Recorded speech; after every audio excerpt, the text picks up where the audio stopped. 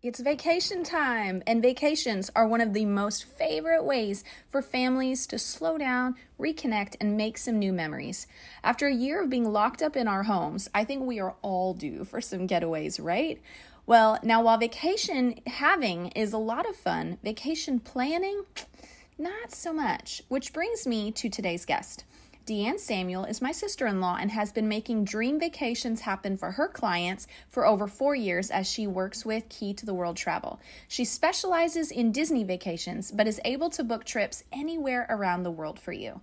In today's episode, she shares with us some of her pro tips for making your Disney trip more stress free, budget friendly, and magical. We bust the major myth around travel agents being expensive Spoiler alert, they're free to you.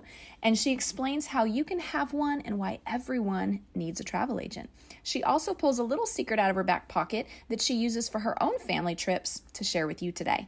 This episode is loaded with vacationy goodness just in time for you to get away with your family. Listen up, share this episode, and let's dream of magical destinations together as Deann unpacks all of her genius, saving us time, money, and a few headaches. Cue up that intro music. Hi, and you're listening to Java with Jen with your host, Jenna Lee Samuel.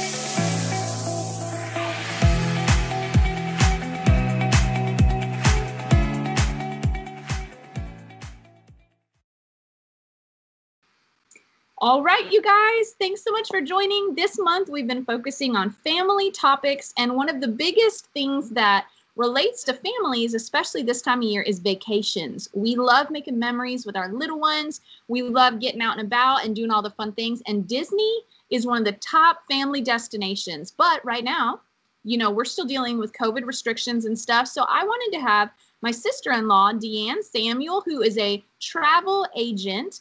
And I wanted to have her on so she could speak from her place of expertise um, what it's been like to plan trips, plan vacations, and how you can still have a great time with your family even amidst COVID. So we're going to talk Disney. We're going to talk a little bit outside of Disney and just going to pull on Deann's expertise. So Deann, thanks for being with me. Hey, thanks for having me. Absolutely. Okay. So, all right. So I did a little intro of you earlier. Tell us how long you've been doing travel. Um, I'm going on four years now. That's awesome. And you are a Disney fanatic. So that seems like that's where you put a lot of your travel focus, but you can do stuff outside of Disney, correct? Yes. I, I mainly focus on uh, family vacations. I have a family of five, so we love our family vacations at Walt Disney World, Universal, and so that's where I, I put my time into to learn about that's for awesome. us, for my own family. That's awesome. And you're so good at it. And and you guys actually will mention it at the end. But if you want to go follow Deann on Instagram, um, you can look up Deann Samuel, A N N D E A N N. Um, or you can look up Disney Traveling Princess is her handle. And she frequently is posting videos and pictures of her time at Disney. I love watching it because it feels like a little bit of an escape every time I see a post from her. So um, okay, so Deann, tell us real quick what technically do you provide for people um, in planning their trips? We have some questions to you as a travel agent. I know I had a lot of misnomer beliefs about travel agents, so I want to dispel some of those. So, what do you technically do for people that would make them want to use your services? What I do for people, send out the quotes, I can book your reservation, I process payments. Um, you know, those are things that we keep on file. I have a lot of clients who will just text me and say, hey, can you make a hundred dollar payment or whatever? I'll process it, send you the confirmation. It's done, easy. I make phone calls to change reservations. I have one right now. I've been working on a name change, and you know sometimes those lines can get backed up to three hours or more. Um, I do that for you. I do the research, dining reservations, um, you know, special activities or tours, um, help plan out your day, kind of, you know, what's what's going to be good for your family or your children, and um, different activities or different rides that you like. Um, I book flights.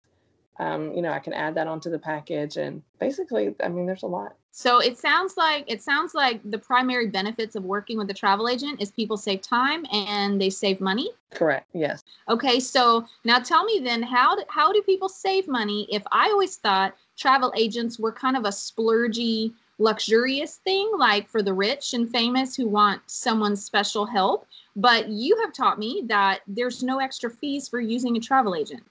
Correct. No, it's all included um, in the price of your vacation. So if you go on a Disney um, on online, or if you go on a Universal or a cruise, our fee is already in that package. You're, but people don't know that our fees are already in there, and they pay us. So no, no matter what, you're going to pay the same price basically.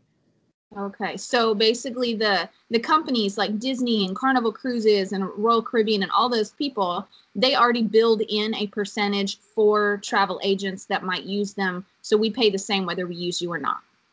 Exactly. It's it's already built in there. So if you don't if you don't use a travel agent, you're still paying it, but you just don't get the extra services.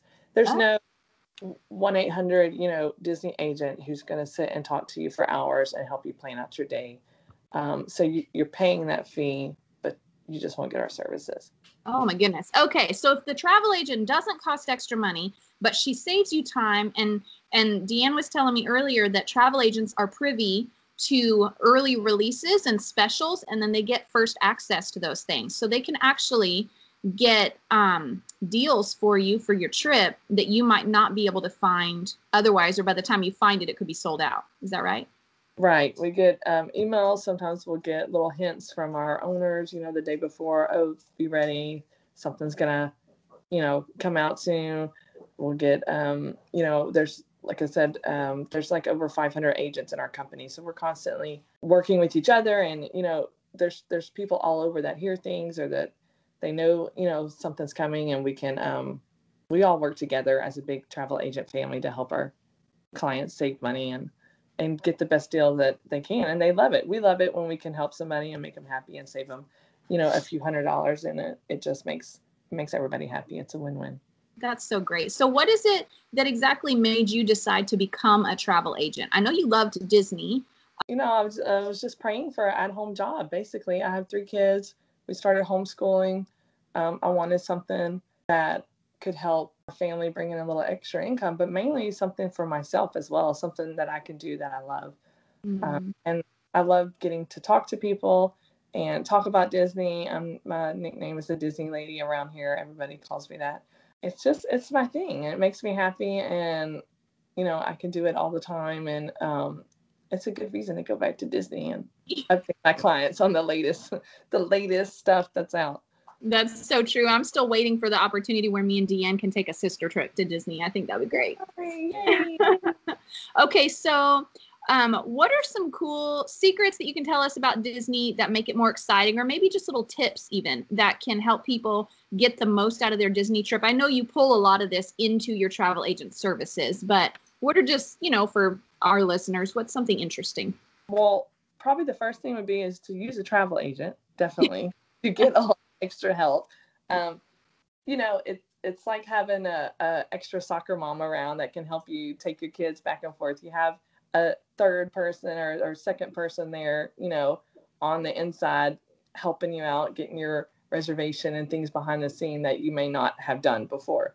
Yeah. Um, uh, second, um, I would say plan your trip early. Book before, um, you know, dining releases for Disney 60 days ahead of time.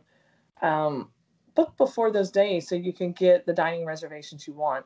A lot of people skip dining. They don't they they want to go to the park all day. They don't sit down and have a nice meal at the end of the day and then they're worn out. I tell people to at least book a nice evening meal a couple of times while they're there so they can sit down.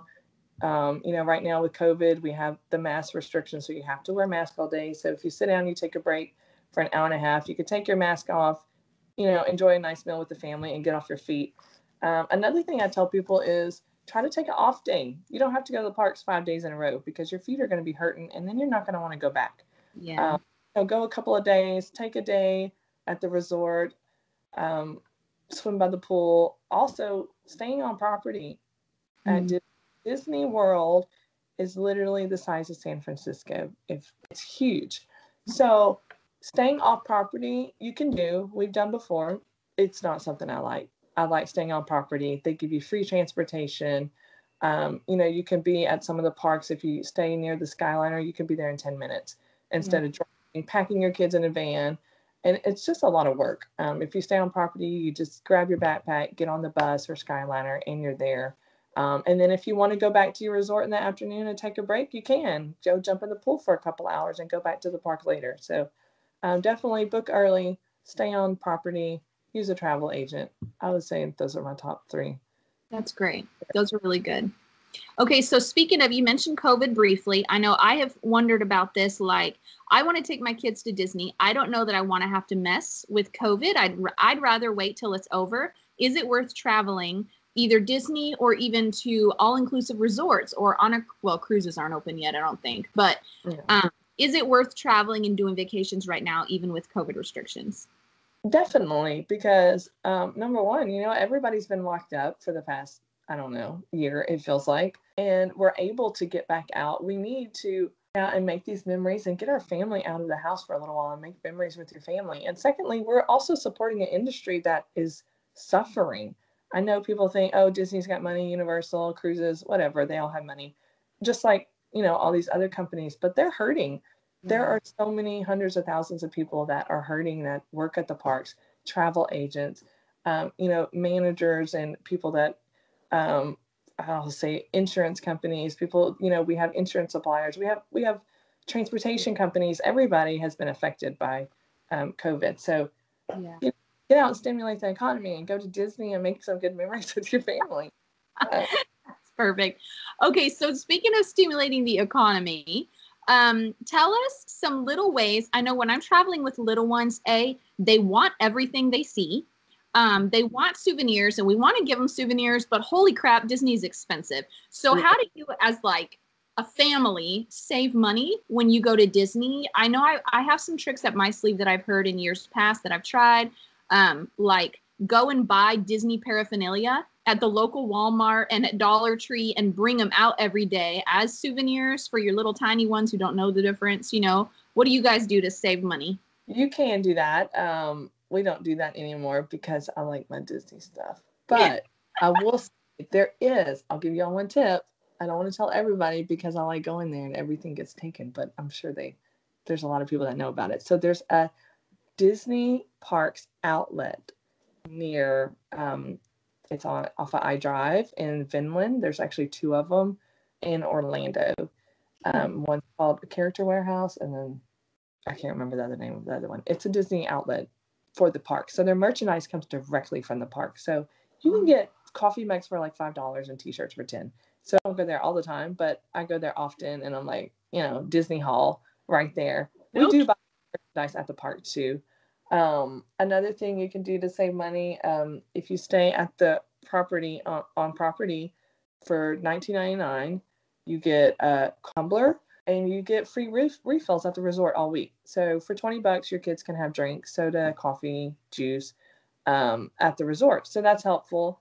Um, another thing we do is we always get a popcorn bucket. And we just came back and we actually ended up getting two popcorn buckets. But they're like $15 and then $2 to refill. So we'll get one or two of them, and our whole family of five will just share and snack on that all day and refill it for two dollars. Um, Smart.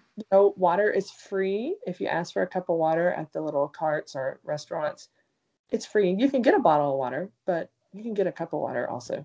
Those are great tips. I know something that I found last. I took my older two to Disney with my parents a couple of summers ago, and we found that every time we'd pass by like a meal cart or whatever, they were like, I want some food. I want some of this. I want, I want a churro. I want an ice cream bar. I want a pretzel. And so one thing we did that helped, and I know you could probably talk about the meal plans actually. Um, but one thing we did is we gave our kids, because they were a little bit older, we said, listen, here is $20 or $30, whatever you want to do for your food today this we'll buy your meal, we'll buy your dinner, but here is for any of those extras you want to get a snack or even for lunch, whatever. And so then then they had to actually think through what's worth spending my money on. And so it took pressure off of me and my dad and then it put it back in their hands. But then they felt kind of empowered. They could splurge where they wanted to and they could buy a, a cheaper lunch at, you know, a little kiosk instead of a restaurant, you know, or whatever. So that's one thing we did. Yeah, um, yeah, my kids do it too. They want to eat everything, especially my teenage son. Like, stop eating. Uh, one thing you can do um, right now, dining plans are not available um, just because of COVID. They have not brought those back yet. Um, they're great, you know, when they're there, but they're not there right now. Okay. Um, they you can and we've done this we did this a couple years ago we went to like target or um, i know target you can use they have like a 5% off like the debit i want to say debit card or credit card. Mm-hmm. um, and you can use that and get they have disney gift cards there and get a little bit off your disney gift card so you can buy like a 50 or 100 dollar gift card um, and get a little bit off of that. But we bought um, our kids gift cards before and just gave them the gift card and said okay this is your card and you got a hundred dollars or whatever's on it and that's your money for the the whole week for souvenirs or whatever extra they want to buy um, and it kind of helped us separate because we only have three kids and like we didn't do it this past time and we were trying to keep track of who spent what and how much and like okay what did you buy what did you buy um, yeah. so it's easy you separate their money on like a little card and it makes them feel like I don't want to say empowered, but kind of like, okay, I'm a big guy, I'm, I'm a big girl, I got my little gift card and I can buy, you know, what I want. Um, and it, and it helps you know that, okay, you're out of your money and, and that's it. Yeah. You know, so. That's great. That's such a good idea. And so, what about um, this brings me to another question. Some of these things, you know, when we go to the park, it's like what's worth splurging on, what's not worth splurging on. So, what would you say is worth splurging on, and what is not worth splurging on? Um, I'm thinking of like the Photo Pass situation. I don't know if they're still doing those. Yes, they have those out. That's definitely something you need to do. We do it every time we go to Disney. I did not do it this time. And then when we got there, they they gave they just gave the notice that you can take your mask off during pictures now. So I was really bummed that I didn't buy it. Um, what is the but, explain it again for those who don't know? So the memory maker, it's 169 if you purchase it early, like before your trip. It's 199, I think, if you purchase it within three days of your trip. Um, so you get all your photos um, at the park. There are photographers all around the park. You get your ride pictures added on there. Sometimes they'll do like a cute little video of Woody or Buzz or or whoever like coming out and on your face or like on your while you're on the ride, they're coming out and doing something. So uh, they you can order um, you get a free download with it off the you know off the uh, website or on your phone you can download them and then i normally spend an extra $30 and order a, a disc just so mm-hmm. i have it i've actually ordered um, christmas ornaments off of there because um, you can get like ornaments and different things made with it that's super cool oh. yeah i think we did the photo pass when i went actually that same trip with the older two boys and um, my sister bought it for all of us and it was great because i think what makes it even is an advantage above your phone is you don't have to worry about the quality of picture you're going to get they're going to be great quality photos because they're right. using great cameras and their photographers right. what they're doing and they know the best places to stand to get the right. best photo. and they put everyone in it a lot of times dads or moms get stuck out because somebody's got to take the picture um, but everybody's in it. They do magic shots. Sometimes they'll put like Tinkerbell flying over you, or Lumiere will be like in your hand. So that's always fun. And they don't tell you what they're doing, so you don't know until um you know you get your picture on your phone. You're like, oh look, you know. Oh, well, that's cool. I love it. Mm-hmm. Okay, so what would you say is not worth splurging on? Not worth splurging on at Disney. That's tough. I know because Disney's smart about what they do, right? they're very smart and we we spend money on all kinds of things at Disney. So no, what's not worth splurging on is the parking. Well, let me tell you, if you stay at the resort on property, you will get free parking if you decide to drive your car. However, I don't do that because I just take the free transportation. Yeah. But parking is yeah, twenty five dollars a day.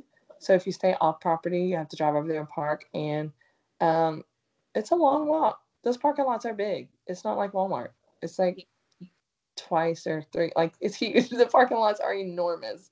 Um, I'd say um, I don't know. Maybe water because you can get free water. What else? Um, I would say don't don't um you know overdo it if you're if you're not on the dining plan. You know, like we just went and we um we did one character meal you have to pay out of pocket for those right now because there's no dining plan. Those are sixty dollars a person. Oh gosh. Um, a family of five, so it's not exactly cheap. But I like to do maybe one like a new one that we haven't done.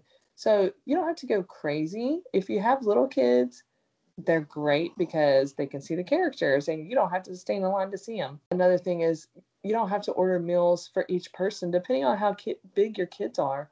Um, if you go to a quick serve place and I know it's vacation, but a lot of times me and my girls will share a meal because we're just not hungry. So instead of getting five $15 meals, we'll get three and maybe, you know, an extra order of fries and we'll share and, and then we'll grab a big pretzel or popcorn and we're fine. Yeah. So um, it's just, you know, it's just using wisdom and and kind of, you know, going about your budget just because you have a budget or you're you might not have as much as somebody else doesn't mean you can't go to Disney. There's always ways to work around. You know, don't go crazy on food. Bring some snacks, share a meal, you That's know. Those are good tips. I know I, I a lot of people don't realize that at Disney because a lot of theme parks you can't bring your own food in, but at Disney they let you bring your own food in. They do have lockers. I don't use lockers because the parks are just very large. We usually carry a backpack around. Um, there's a lot of people that do use lockers. Um, I've had to I've had to use them on occasion. I will say that. Um, you know, buying souvenirs. Now, if you stay on property, they'll ship your souvenirs back to your room, and you don't have to carry them around all day. Um, the extra benefit, um, especially if you go too crazy like me. Sometimes I have a whole bag full. they'll ship it back for you. That's Um, awesome. I would say, I would say too, thinking back on my trips, I think some of the things now I always go to Disneyland versus Disney World. And Disneyland is a lot more manageable as far as size. You can walk from one end of one park to the other end of the other park in probably 30 minutes. Um, you know, just walking all the way across. And so we walked an average of like 12 miles a day. So I would recommend really great sneakers that are going to be comfortable. And I I always bring ibuprofen. That way, when everything does start swelling and getting uncomfortable, I just take ibuprofen and it takes care of it. yeah.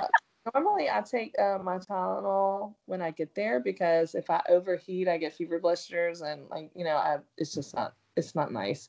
So I usually take that with me. I carry hand sanitizer, and and that's um, you know something with the new COVID regulations. There's hand sanitizer at the park. Um, that's one thing I didn't talk about. If you want to talk about that, um, I'm getting sidetracked from what you need to bring in your bag. Tylenol, hand sanitizer. Baby wipes are good. Even when you have 15 year olds, a little pack of wipes to wipe the sticky hands off so you don't have to run to the restroom. A phone charger. Yeah. A really good thing that they offer at uh, Walt Disney World, they have this at Universal too. It's called a fuel rod. Um, I've seen them in some airports also.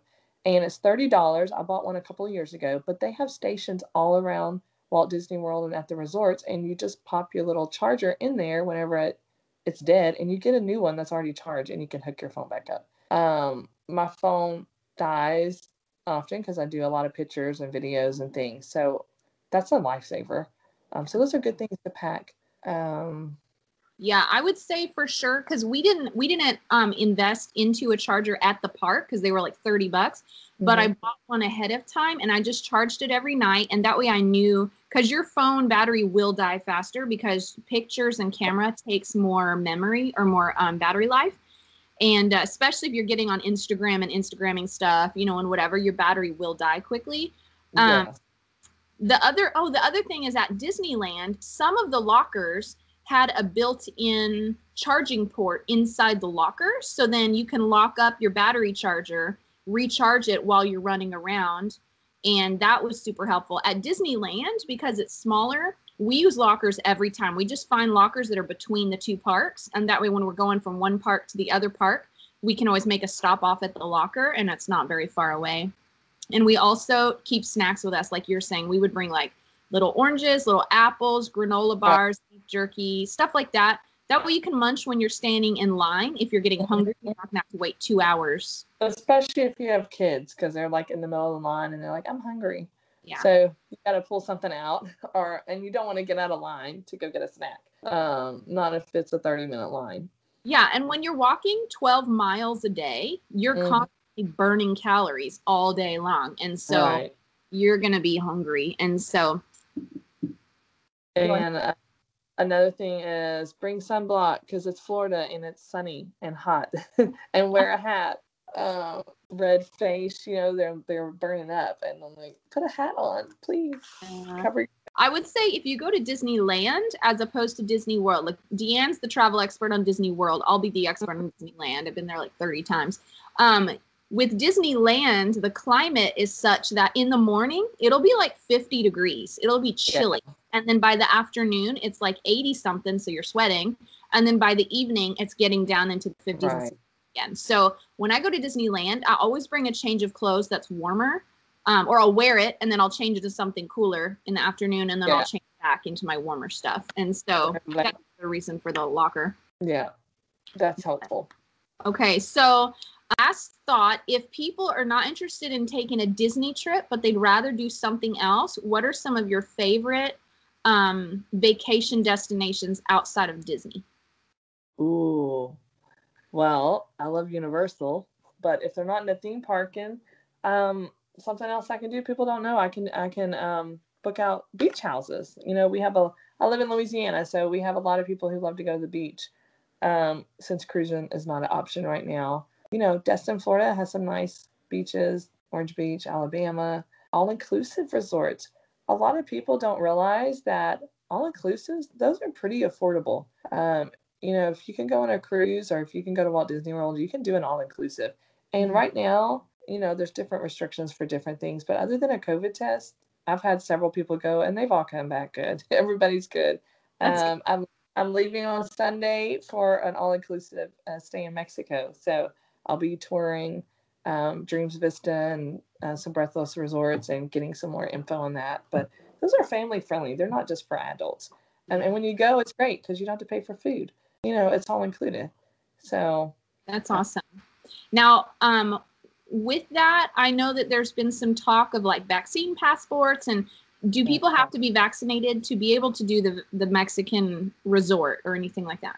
No, not right now. Um, you just have to get a COVID test to come back into the U.S and that's something that these places like um, Dreams and uh, Sandals Resorts they're offering that on property, so you don't even have to leave. They have, you know, a room designated for that. You go down, they give you your time. You go down there, um, they swab you, you know, ten minutes, and then you're free to go back to the resort, and then they deliver your um, uh, paperwork. And there have not my clients, there have I've heard, um, you know, a few people that have gotten tested positive and had to stay there but these places are offering two weeks free for you to quarantine there. Of course, you have to quarantine in the room, but um, you know, people are are concerned about that. Yes, you might get stuck there.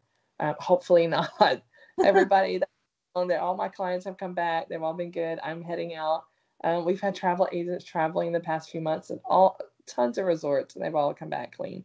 I mean, um, you know, I'm not gonna lie. I'd kind of like to get stuck at an all-inclusive resort for two weeks. okay, well, I know you've got to go get your daughter. Um, but Deann, thanks so much for getting on here and sharing these tips and these pointers. Lastly, how can people connect with you if they're like, yes, I'm sold, I want to use your services? How can they do that? Um, well, they can look me on my Instagram at Disney Traveling Princess. They can message me. Um, they can email me. It's uh, my email is d dot samuel at key to the world travel.com. It's kind of long. Sorry. Um, you can email me, message me. I'm on Facebook. Uh, they can call you, Jen, and message you and say, What's your sister in law's number, name? Um, so, yeah, I'm on there. I, I reply quickly on Instagram. I get my notifications. So, if I got a new request, I'll respond. Okay, excellent. Well, you guys be watching on Instagram. If you guys are not already following her, go follow her, Disney Traveling Princess. If you're not already following me, follow me, Java with Jen. And when I post this up, of course, I frequently will throw her in my stories to remind you guys how awesome she is and that you can connect with her. It is vacation time. Deann can save you the headache. She can save you the money. She can save you the time of planning your dream vacation. So connect with Deann and make some new memories. That's exciting. Thanks, Jen. Thanks for having me. You're welcome. Have fun. We'll catch you guys later. All right. Bye bye. Thanks so much for tuning in to today's show. For those of you who've rated or shared this podcast on social media, thank you. Reading your comments and reviews always means so much to me. Listen, let's stay connected. Come follow me on Instagram at Java with Jen, where you can follow the latest and say hey. It's a really great way to stay in touch. Many of you have also asked how you can support the show. You can make donations through the Anchor app or on Patreon, or of course by sharing, rating, and reviewing on social media and iTunes as well. Thank you to each of you for your ongoing support. Your heartfelt feedback always reminds me why I do this. Until next time, remember, you've got this, and God's got you.